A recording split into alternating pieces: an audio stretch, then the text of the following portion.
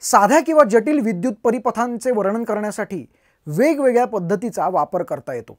मात्र विद्युतधारा या संकल्पनेचे वर्णन करण्यासाठी फक्त शब्दच वापरले जातात.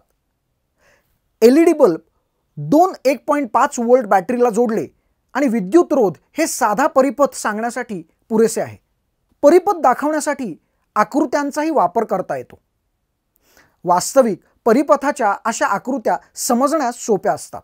परिपथ सांगण्यासाठी अजून एक पद्धत म्हणजे पारंपरिक परिपथ चिन्हे. परिपथाची योजनाबद्ध आकृती आणि त्याचे घटक यांची चित्रे काढता येतात.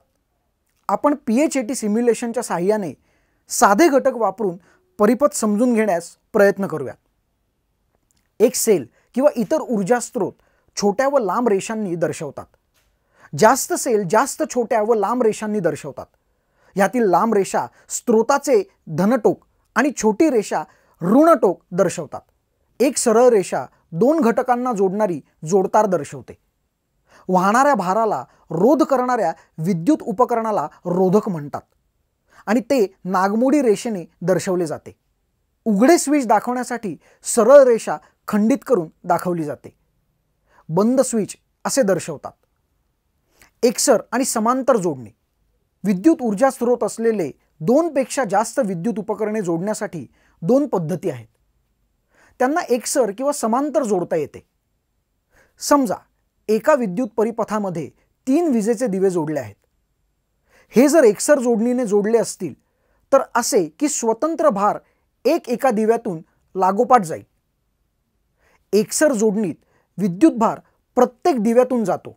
समांतर जोडणी केली तर बाहेरच्या परिपथातून एक विद्युत भार फक्त एकाच दिव्यातून जाईल. दिवे एका वेगळ्या बाजू किंवा शाखेच्या रेषेत ठेवले असतील तर बाहेरच्या परिपथातून येणारा भार एकाच शाखेमधून परत कमी विभावाच्या टोकाकडे जाईल. एकसर जोडणी कार्यरत होण्यासाठी त्यातील प्रत्येक घटकाला कार्य करावे लागते. त्यातील एक चालत नाहीसा झाला तर ते सर्व बंद होतील. म्हणूनच स्वयंपाकघरातील सर्व उपकरणे एकसर जोडणीने जोडलेली नसतात. कारण स्वयंपाकघरात फ्रीज चालवण्यासाठी टोस्टर ओव्हन डिशवॉशर आणि छतावरचा दिवा सर्व चालावे लागेल. समांतर जोडणी. आपण आता तीन दिवे समांतर जोडणीने जोडूया. या समांतर शाखेच्या बाहेर आपण अजून एक दिवा जोडू ज्यामुळे एक दिवा मिळवणे किंवा काढून घेणे दिसू शकेल. एक दिवा वाढवला तर निर्देशक अधिक प्रखर होतो. समांतर जोडणीसाठी दिव्यांची किंवा रोधांची संख्या वाढली तर एकूण विद्युत धाराही वाढते. विद्युतधारेची ही वाढ एकूण रोधाच्या कमी होण्याने सुद्धा कायम राहते. वेगळ्या शाखेला आणखी रोध जोडले तर परिणाम उलट होतो. म्हणजे एकूण रोध कमी होतो.